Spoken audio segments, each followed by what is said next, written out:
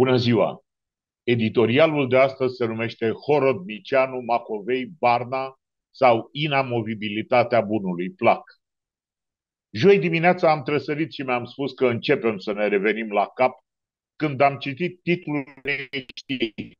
Mi-am spus imediat că este vorba despre deznodământul scandalului pe care l-a provocat Daniel Horodnicianu, fost șef al DICOT și acum vicepreședinte al CSM în județul Iași, când a fost oprit de doi polițiști pentru a-i se atrage atenția că a depășit fără să semnalizeze. Chiar mă gândeam că mult trâmbițata celeritate, atunci când este vorba despre cazuri grave, a început să se aplice. Că nu se mai trage de timp cu dosare pierdute prin sertare până ce se prescriu. Fapta lui Horodnicianu nu era însă atât de gravă încât să reclame arestarea, dar în naivitatea mea am crezut că judecătorii sunt mai aspri cu magistrații de rang înalt atunci când greșesc decât cu noi, justițiabili de rând. Tresărire deșartă însă, care s-a stins imediat atunci când am citit știrea mai departe. Un procuror anonim, care nu s-a remarcat decât prin câteva scandaluri în corul hashtag rezist, pe numele lui Sorin Lia, fost șef al parchetului de pe lângă judecătoria Corabia, era cel trimis după gratii și nu țanțoșul Horodnician. Tot în acest dosar a mai fost reținut un infractor foarte greu, fostul șef al poliției rutiere Corabia.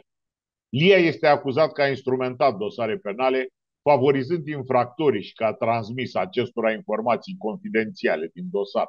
Printre beneficiari, așa cum am spus, fostul polițist Sorin Bulintiș, prieten cu magistratul, care astfel a lăsat corabia năucă. Nu mai are cine să schimbe culoarea semafoarelor. Și tot în acest dosar, un mărunt om de afaceri tot din corabia. Totuși, perla coroanei infracțiunilor săvârșite de Lia este ceva foarte grav.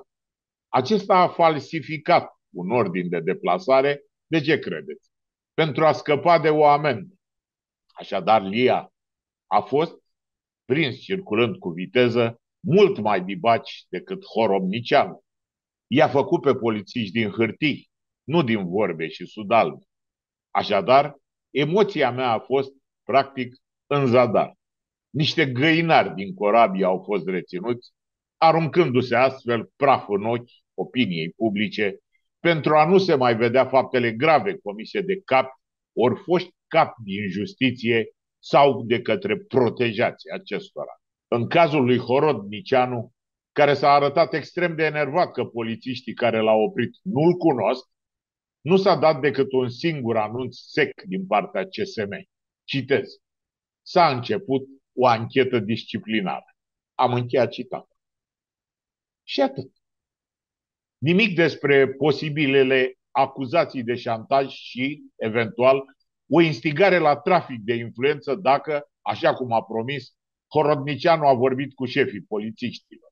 În schimb, mult mai detaliată este informarea dată de către IPJ Iași despre cercetarea asupra polițiștilor care au îndrăznit să nu le recunoască pe Horodnicianu, pentru că și ei, poate nu vă vine să credeți, au fost chemați la dreptate. Adică se dau amănunte cum că nu s-a filmat cu camera din dotare, ci cu telefonul mobil al unuia dintre polițiști și că imaginile au ajuns în spațiul public nefiind date de către cei doi agenți. Ca și când ar fi acesta subiectul principal al evenimentului, care, eveniment, după părerea mea, este de o gravitate extremă. Și spun asta pentru că un magistrat mai ales unul din vârful puterii judecătorești, trebuie să aibă o conduită impecabilă nu doar în sala de tribunal, ci și în oricare altă împrejurare, chiar dacă aceasta se petrece în timpul lui liber. Nu poți fi magistrat intransigent dimineața în sala de tribunal, să trimiți oameni la pușcărie, iar după ce ai ieșit de acolo să mergi în cartierul cu felinare roșii și să-ți dai poalele peste cap băgând bani la chiloții dansatoarelor de la bară. Vrem o țară ca afară?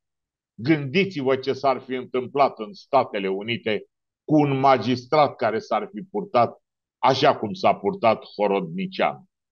Așadar, hoțul cu un păcat, păgubașul cu o sută.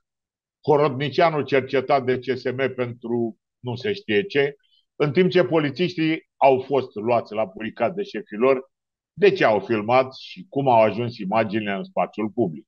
Subiectul oameni buni, așa cum am spus, nu este distribuirea imaginilor în spațiul public. Foarte bine că s-a întâmplat așa, ca să aflăm și noi. Ci atitudinea golănească de parvenit a unui înalt magistrat. Este bine că a fost arestat procurorul Lia, care a dat cu corabia direct în gard, dar și mai bine ar fi fost ca și cei din fruntea puterii judecătorești să fie cercetați și sancționați cu celeritate atunci când greșesc. Pentru că altfel, articolul din Constituție care spune, citez, nimeni nu e mai presus de lege, am încheiat citatul, nu este decât o sumă de vorbe goale și ar trebui modificat pentru ei cu, citez, nimeni nu este mai presus de lege în afară de noi, care dăm cu legea în cap, oricui nu ne convine și ne supără. Din păcate, exemple de oameni care se consideră deasupra legii mai avem. Vă dau doar câteva, câteva care cred eu că sunt foarte importante. Pe data de 2 octombrie 2022, fostul ministru al justiției, Monica Macovei, a îndreptat, cum se zice în termeni șoferești, curba șoselei dintre localitățile 2 Mai și Mangalia, intrând pe contrasens și accidentând grav un motociclist care circula regulamentar. De atunci, nu s-a mai auzit nimic despre acest caz. Un singur lucru notabil. Monica Macovei a dat în judecată pe absolut toată lumea, de la polițiștii care au închetat la fața locului până la procurorul care a întocmit dosarul. Și mare minune că nu a dat în judecată și motocicleta pe care a făcut-o praf, ori pe motociclistul pe care l-a accidentat pentru că a îndrăznit să treacă pe acolo, sau poate șoseaua, că a îndrăznit să aibă o curbă când ea voia să meargă drept. Dosarul zace prin sertare, iar Monica Macovei zburdă cu mașina în continuare pe șoselele patii. Dar nu este musai numai să fii înalt magistrat pentru ca legea să se afle sub tălpile pantofilor tăi sau, mai corect spus, în cazul nostru, sub roțile trotinetei electrice. Este suficient să fii în grațiile și să faci parte din gașca magistraților care deservesc sistemul. Pe data de 31 martie anul curent, fostul vicepremier Dan Barna, care zbura fericit pe trecerea de pietoni la culoarea roșie a semaforului pe trotineta electrică, protejând planeta, a fost dat cu roatele în sus și el și trotineta de o mașină care circula regulamentar. Șoferița, în vârstă de 24 de ani, a reacționat prompt și corect, a frânat brusc și coliziunea nu s-a încheiat, din fericire, decât cu întinsul pe asfalt al lui Dan Bar. De aici începe însă caruselul justiției vândute. Procurorul care instrumentează cazul a încercat să-l scoată basma curată pe Dan Bar. A spus că acesta a încălcat într-adevăr codul rutier, traversând călare pe trotinetă, dar că a făcut-o la culoare, atenție, verde pentru pietoni, iar șoferița a forțat culoarea galbenă a semaforului. Minciună sfruntată. Orice om care a văzut în viața lui măcar o dată un semafor știe că atunci când se schimbă culoarea pentru mașini, aceasta nu se face concomitent cu schimbarea culorii pentru pietoni. Când verdele pentru vehicule se schimbă în galben și apoi roșu, mai durează cel puțin 5-7 secunde de când s-a pus roșu și până se schimbă culoarea pentru pietoni, din roșu în verde și se poate traversa. Așa că și dacă am admite aberația procurorului că șoferița a forțat culoarea galbenă, pentru pietoni ar fi fost tot roșu, iar Dan Barna ar fi trebuit să protejeze planeta cu trotineta, ținând-o pe loc până se făcea verde.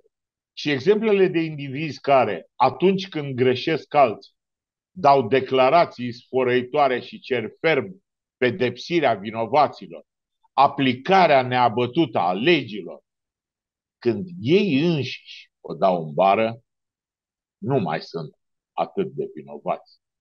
Pentru că în România s-a format o gașcă de indivizi care sunt convinși că se află mai presus de lege, că nu răspund niciodată pentru nimic, indiferent de ce ar face.